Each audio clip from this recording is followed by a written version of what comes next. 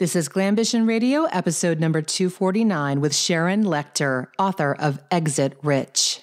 Ladies and gentlemen, Glambition Radio. Glambition Radio. Glambition Radio. Glambition Radio.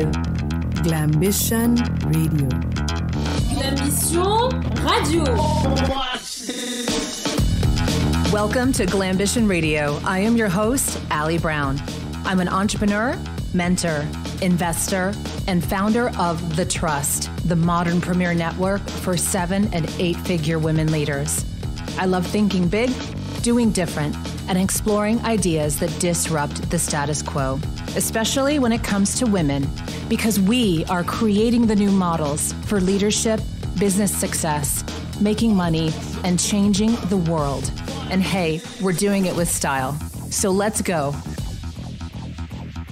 Wow, get ready for a really powerful conversation. Sharon Lechter has been around a while, and these are the women I love to have on the show because there's so much wisdom they have gained from everything they have done different deals, different arrangements, different assets they've built, wins, fails.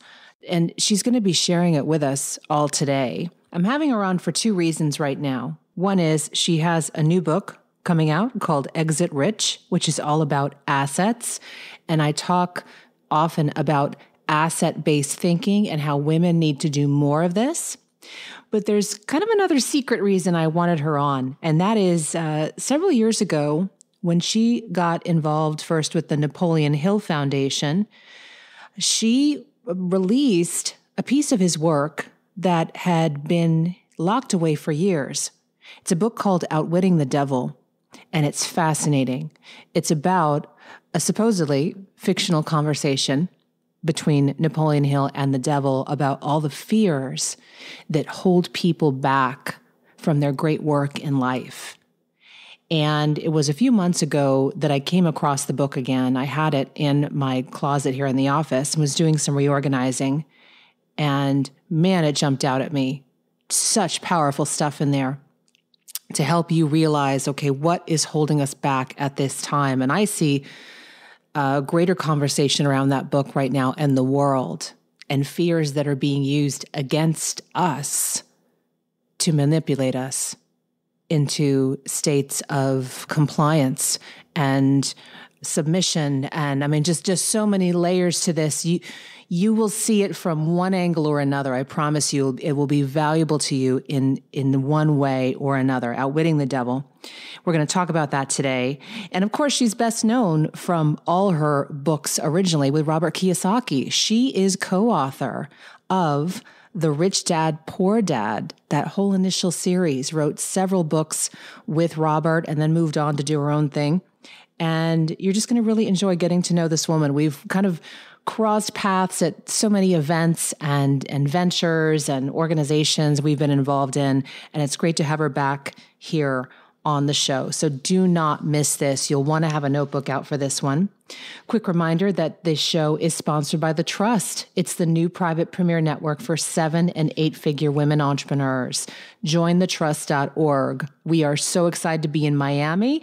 By the time this show airs, I think it'll just be a week away.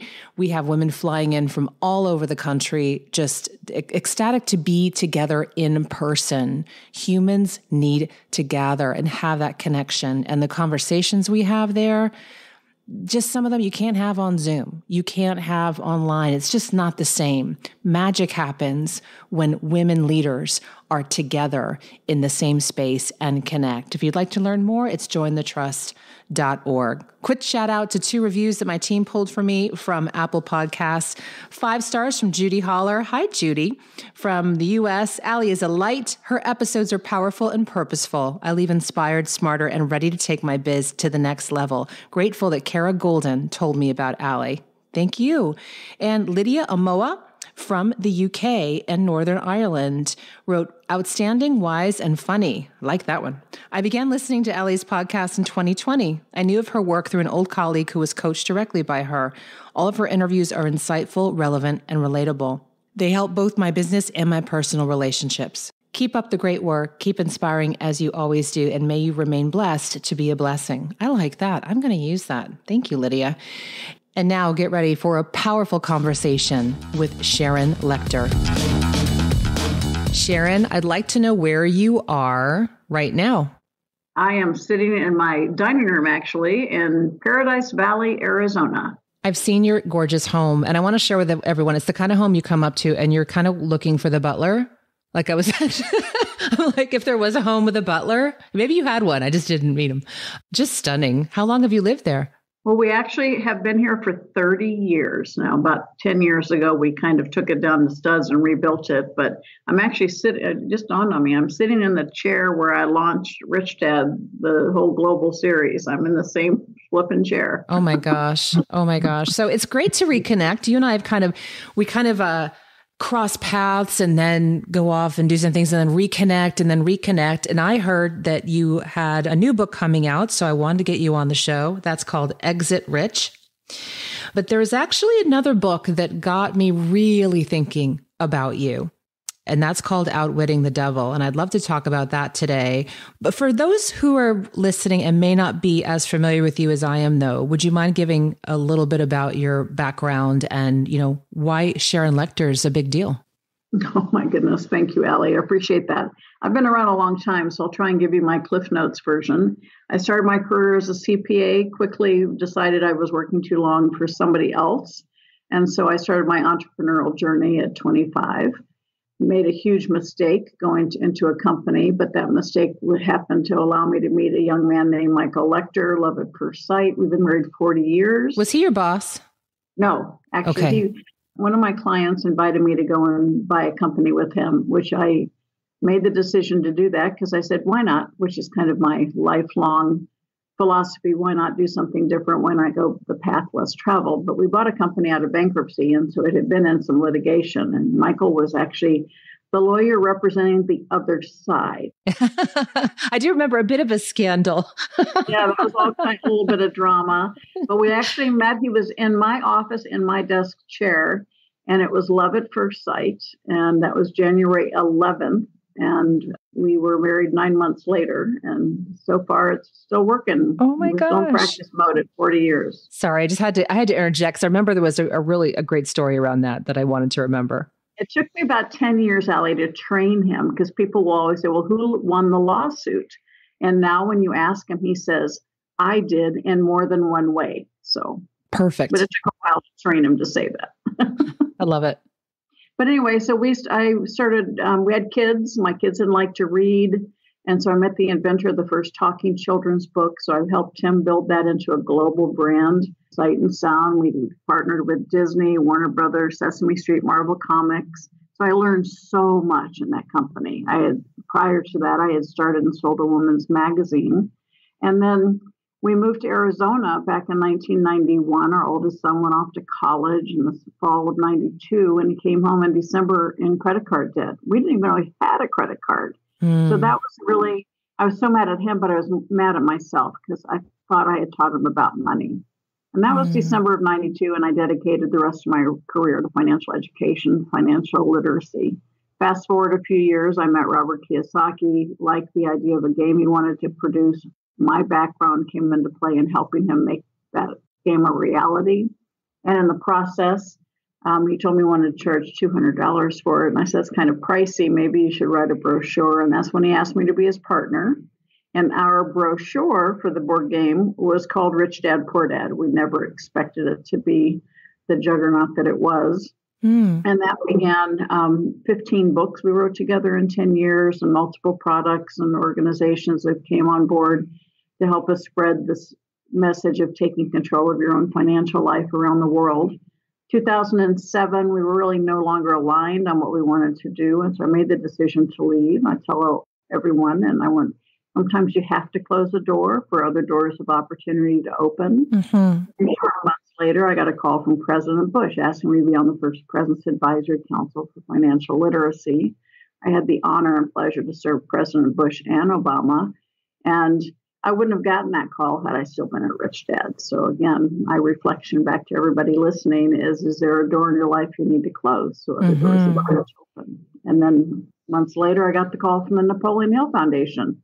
And certainly wouldn't have had that call had I still been at Rich Dad. So I've had the pleasure of working alongside the foundation with several books Three Feet from Gold, Outwitting the Devil, which you're talking about, Think and Grow Rich for Women, and Success in Something Greater. And now my most recent book that you mentioned, Exit Rich, is coming out this year in alignment with Inc. magazine. So it's been kind of a wonderful journey, and I'm still as passionate about helping people take control of their financial lives as December of 1992. And here we are. My company today is called Pay Your Family First, and I'm all about family. So, what is it about finances for you that was always just such an important part of what you wanted to create in the world?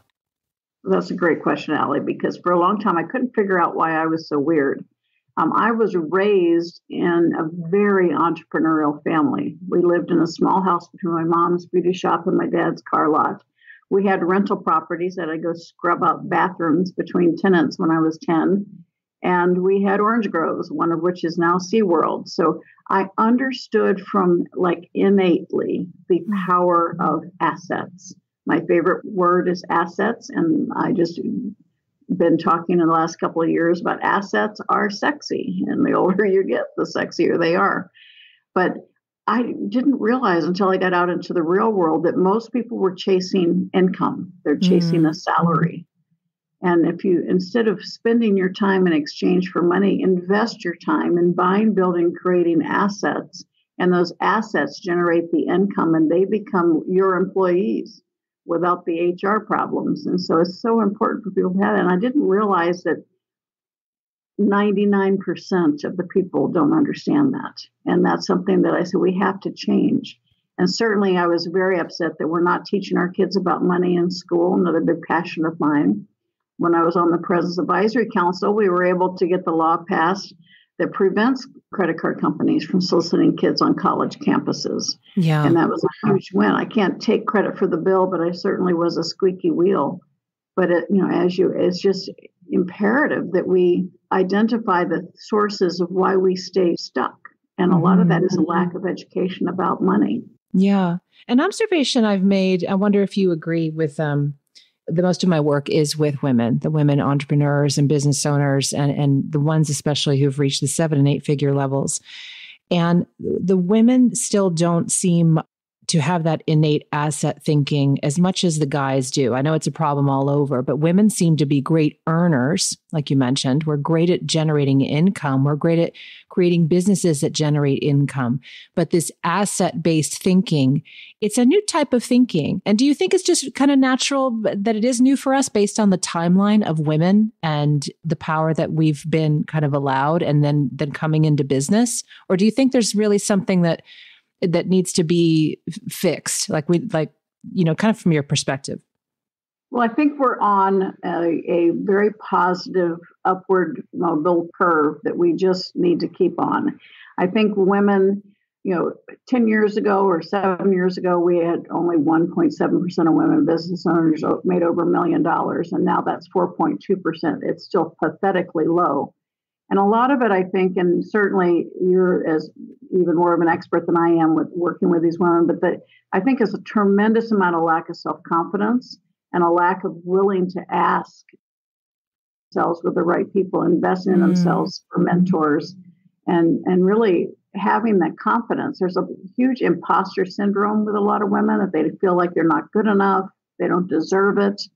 And that's something that is almost a social mores for generations of being told we were supposed to be caretakers and nurturers. But now they're starting to see the light and they're starting to stand in their power. And certainly the tribe that you've created, huge, hugely powerful and influential to other women, setting the proper examples. And as we see in society now, it's the last time I looked at a stat, 38% of households in America, women are the primary breadwinner. Mm-hmm. So that's changing a lot of things. And that's something that we have to continue surrounding ourselves with people who believe in us because that's one of the biggest issues I see. Women don't have the right people around themselves and their and their self-confidence isn't where it needs to be. So let's let's start with exit rich if we could because that kind of segues nicely from what we're talking about and and looking at creating more assets instead of just being an earner tell me about the idea for the book, why you thought it was time, and you know what we should keep in mind around it. Oh, absolutely. And thank you so much for the opportunity. My co author is the number one business broker, female business broker in the country. And she reached out to me because she, we both have the same passion. Too many, particularly women, but too many people own a job, not a business. They think they're a business owner, but they own a job because they've not taken the time to build the foundation in that in that business. Um, when you build a house, you go down first to get the foundation strong, and then you go up. And then when you build a business, you really need to understand every aspect. And so in the book, we talk about how to really build your company so that you can exit rich or you can create an asset that is an economic engine mm. that supports you and your family for generations if you choose to. And so we go through the six P's. The first one, of course, is the people. Who do you have around you, your mentor, your advisors, your employees, to really make sure that you have a business that can be scalable? The next one, of course, is product. What is your product? What is your service? But then we talk about your processes. That's what really makes a business scalable is your business systems. And they are tremendous assets within your business that help you define your competitive advantage. They help you position yourself as a niche in your industry and they help you scale.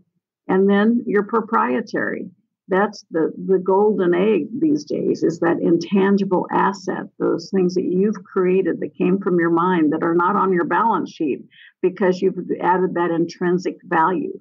You think about one of the largest transportation companies, Uber, they don't own any cars. Um, largest hospitality is Airbnb. They own no hotels. And so it's because of that intellectual property, the software, the systems that they create that mm-hmm. add incredible valuation in their company. And then your patrons, your people. So many people out there are, are you know, shouting from the rooftops. I have a million Instagram followers. I have this, but all the they don't really own them. Instagram does.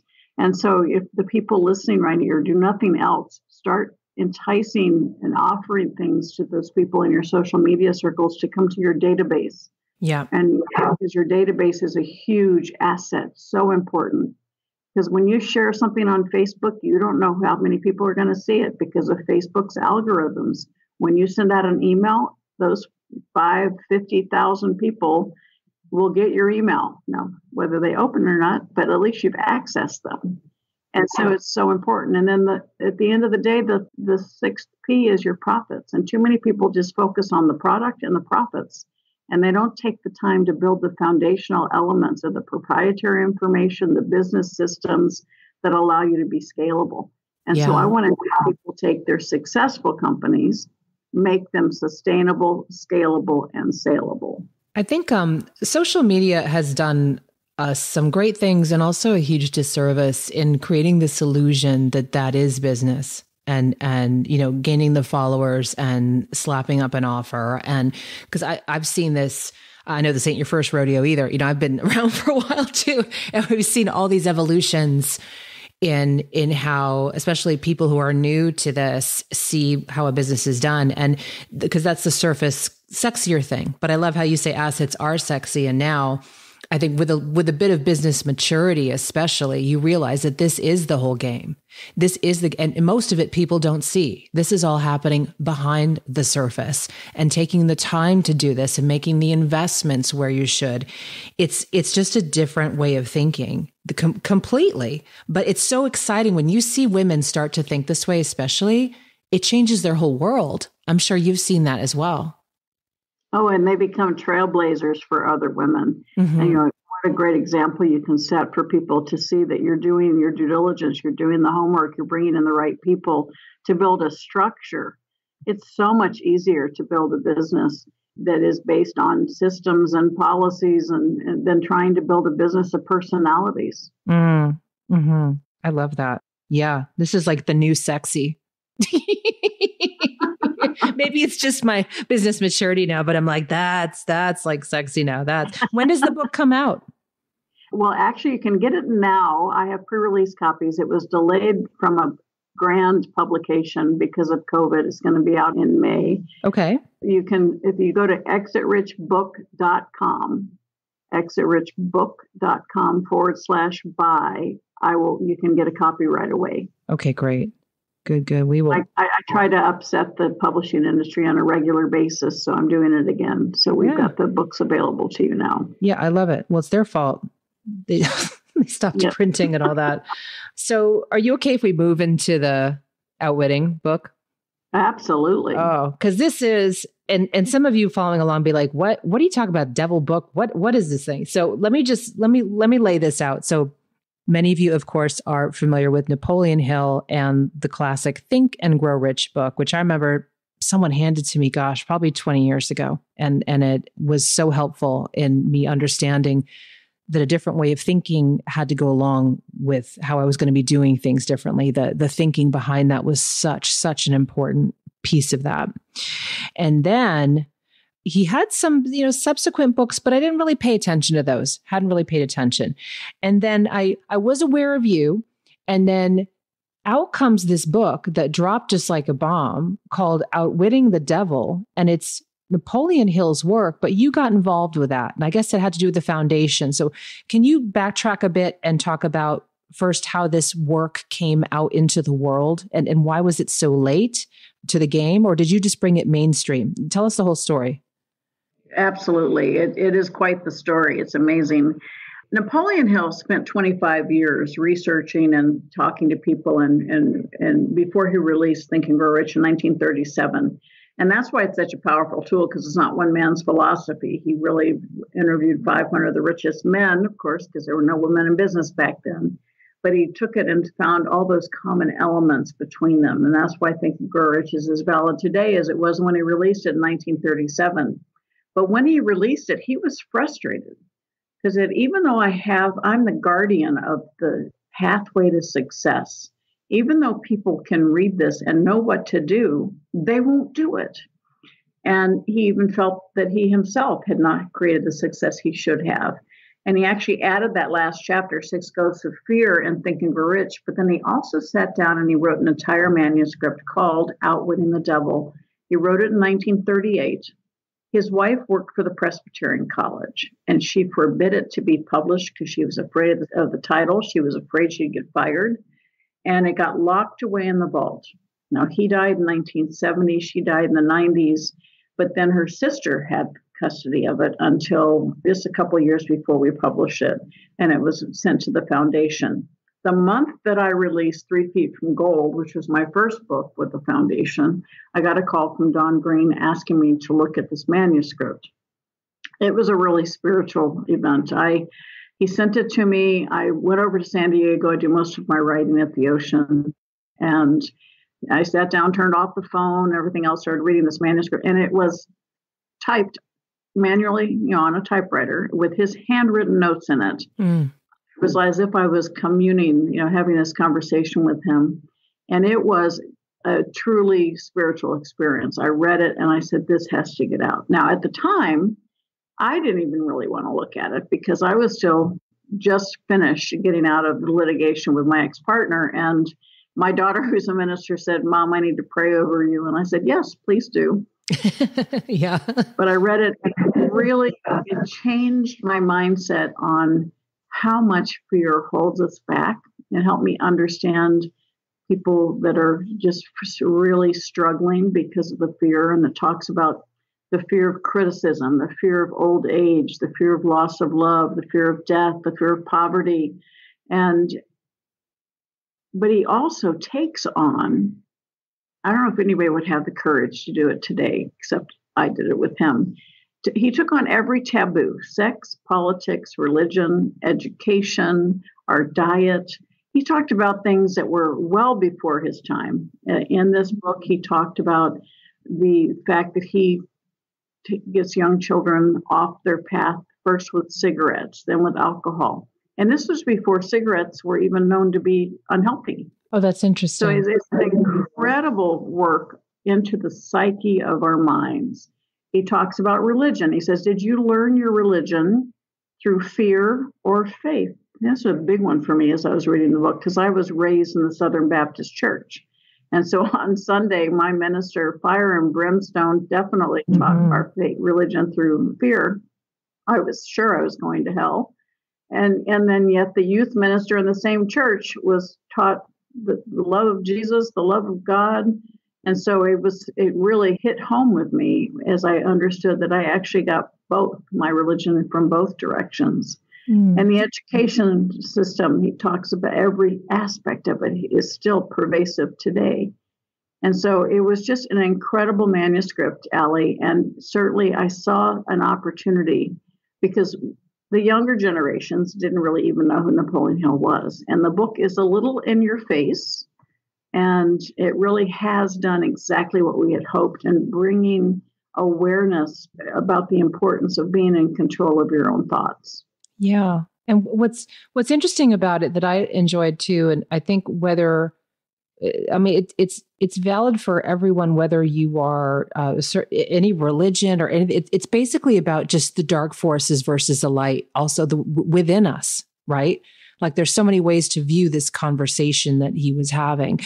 I just found it so spot on in that it just suddenly made it clear to me and giving me like a model to kind of think through these fears coming up like oh it's an opposing force and how do i how do i understand why i'm feeling this way and and i just like the way it was categorized and tell me again though was this a literal conversation he felt he had or was he kind of channeling this or this was did he really share what it was?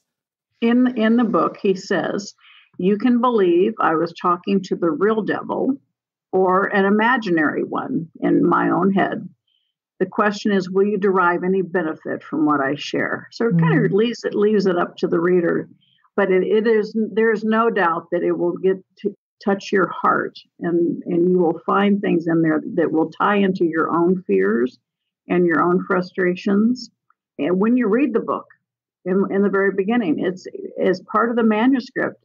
The devil says i'm going to prevent you from publishing this manuscript. That gave me goosebumps. Mm, because it was hidden away for 73 years. Yeah. And then we had all kinds of things happen. The release date got typed wrong so the books didn't uh, they didn't embargo the books and it was like okay this is you know we're every step of the way and even this interview Ali, we, we can share you and i had a hard time getting connected to do this interview yep it's crazy. And so it's like, okay, there he is again. They were supposed to do this. This is intended. This is mo- supposed to make magic happen. And Mhm. yet at the same time, you know, the power of whether we let that negativity stay in our brain. And one of the biggest lessons I learned from being involved with this project is the power of our control of our thought because our brain can't hold negative and positive at the same time. Mm, And as part of this process, it brought it home to me so much. And the fact that I'm choosing to think negatively. And if I'm choosing to think negatively, then negative things are going to happen to me. And I Yeah. grew up with a mom. She was the queen of worry. I was really a champion warrior. And it makes you sick when you get into those, I call it my own special personal rototiller. And I found a definition while I was working on this book of the word worry. To worry is to pray for what you do not want. mm, Repeat that. To worry is to pray for what you do not want. And it was, it was so in alignment with, with outwitting the devil that I realized once I started catching myself, because I still worry all the time, but I catch myself and I go, okay, Sharon, instead of thinking and concentrating on what I don't want to have happen, let's reprogram and reframe my thoughts to focus on what I do want to have happen. And it's really magical. It really does. It's like putting on a different color lens and seeing life in a much better format. you know, I this this past year, and I've shared on the show before, I I slipped. Like I I really had some moments where I I generally wasn't you know worrier before, and then would find myself just waking up just in this very sad state of the world, and and I'd never had the kind of fears that I had over the past year. Could could you give some context into current times and how we could use some of the conversations and tools in this book to like regain control of the power we do have? Great question because it has been a turbulent year. A lot of people are using the word pivot. And I go, well, if you know what your purpose is, because in, in the book Outwitting the Devil, Napoleon Hill talks about having a definiteness of purpose. And people, the devil says, you know, if somebody knows what they want, I don't mess with them. But he said only 2% of the world qualifies. So let's be part of that 2%. And if you know what you want, then you're focused. Your mind is focused on a positive outcome or mm. velocity of your actions what happens is when we we're not focused on that, we allow our subconscious picks up all this negativity, which there's so much of it in the world right now. And, and our environment is such an important part of what our mental state is. And so when you're thinking about outwitting the devil or you're thinking about your life, ask yourself, you know, what we all have issues that happen to us. And so do we learn from them? or do we set ourselves up to repeat them? Learning from adversity, that definiteness of purpose. Are we in control of our thoughts? That's mastery over self. And then controlling your environment. If there are people that are pulling you down or people that are negative, just reduce the amount of time you spend with them mm-hmm. and seek out people who make you feel good, people who support you. In this last year, that's been so important, and yet it's also been difficult because of the isolation so you have to you have to make the demonstrative action to surround yourself with people that support you and not breathe that negativity. And then you know how you spend your time. Are you spending your time or investing your time? And like you, Ali, this last year, there have been times when it's like, oh my gosh, what's going to happen? And so I tell people don't pivot, but if you know what you want, you just have to readjust. Mm. I mean, before 2020, I was on the road 80% of the time. Now I'm in my chair 80% of the time. But I've, you know, been able to adapt and adjust and be able to still deliver on my purpose, but just in a different manner. Yeah. And so it's important. And I don't even listen to the news anymore because of the negativity.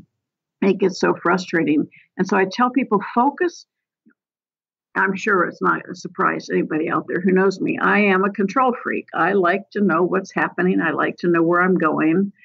And when it comes to the negativity in the world, you have to take a step back and say, okay, I can't control what's happening in Washington, D.C. I cannot control what's happening at the state level. I cannot control what's happening in the global economy, but I can control what's happening in my wallet and I can control what's happening in my brain. Mm-hmm. And so when you focus on what you can control and creating the environment, particularly when you have children, because they they just they don't have the same level of maturity and so their whole world's got turned upside down mm-hmm. and so it's important for us to say how can we create an environment of coming back to what's important i mean i yeah. don't need half the shoes i have certainly don't need half the suits i have anymore because of the new dynamics.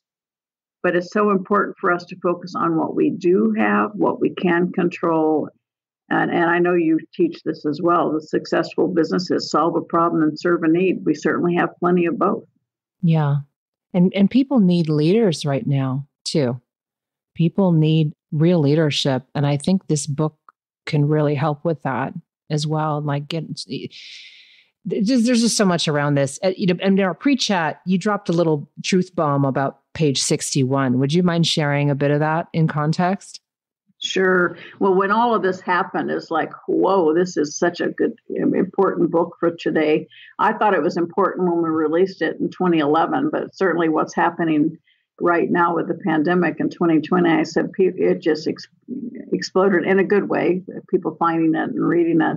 But as I was going back through it for interviews and things, I found on page 61, both in the soft cover and the hardcover, it says it talks during this interrogation, the devil. He, sa- he says, you know, which of these six fears are your most powerful? And the devil says the fear of death and the fear of poverty. And they go, and at some time during your life, man's life, I will combine the fear of death and poverty and bring man to his knees. Mm-hmm. I got goosebumps when I read that, and it was so. I was like, "Whoa, here we go again." He's he was already, and you add to the fear of death, the fear of poverty, the fear of isolation. Mm-hmm. And we have the trifecta of fear that has crippled us in so many ways this year. And it just gave me goosebumps. But the book is not just the goosebumps, it actually gives you the pathway out of it by taking control of your thoughts and your actions and who you hang out with and how you, you know, I tell people, are you binge watching Netflix or are you taking this time to retool, recalibrate, and be ready to refire your business? Yeah. The good thing about 2021 is that a lot of us are feeling like a new energy this year. Like, but I think I think we've learned to shut off the news now more. We know there's so much we can control. Now 2021 is about okay, what am I what am I about? What getting back on purpose, like you said, the the definiteness of having a purpose, it suddenly shuts out a lot of the negativity. And I think people are ready for that. And I think it's a great year for your Exit Rich book to come out. And ladies, you know, if you're caught up on all the worrying or you have, I just find like get back on purpose. When I'm worrying about something, I just say get back on purpose. And then suddenly those fears or little things kind of go away. And if you're feeling a bit bored or stagnant or you're not sure, then you need a bigger goal. That's something to hook into, something to pull you forward, something like taking your business and deciding that, you know what, I'm going to work on now something that is scalable and even sellable. And picking up a book like Sharon's could get you thinking that way. And then suddenly, suddenly when you when you get latched into a purpose like that, you don't get so derailed as easily, especially emotionally. That's right. It's that focus. You get focused. And focus actually provides energy. If you think about it, you can kind of get lost in what you're doing, and that energy just keeps coming because your brain is on fire. You're trying, you know, mm-hmm. you've got a goal and you're working towards it. And it's it's kind of a self, what do you call it, a rechargeable battery. Your brain is continuing to focus because you are you're in a state of contribution. And I think if nothing else, that from this year, exactly what you just said. People are we're getting re-energized. But you know, the other thing I see, Ali, and it's you know a testament to this conversation you and I are having. I'm seeing so much more collaborative spirit. People reaching out to me, getting you know, how can we support each other? How can we move forward? I I just think we're going to become a a kind. Uh, I hope we'll see a kinder, gentler way, but we'll also see people really refocusing on what matters most and mm-hmm. supporting people in, in, in their journeys. I certainly have just, I'm so thrilled with the people that are in my world. And um, we're doing some incredible group mentoring and seeing people really saying, okay, I got it. I need, I need that power of association. Mm-hmm. And it's such an important issue. Who, who's in your world? Who's in your team? Who's there to support you? Who's there to give you a hand up?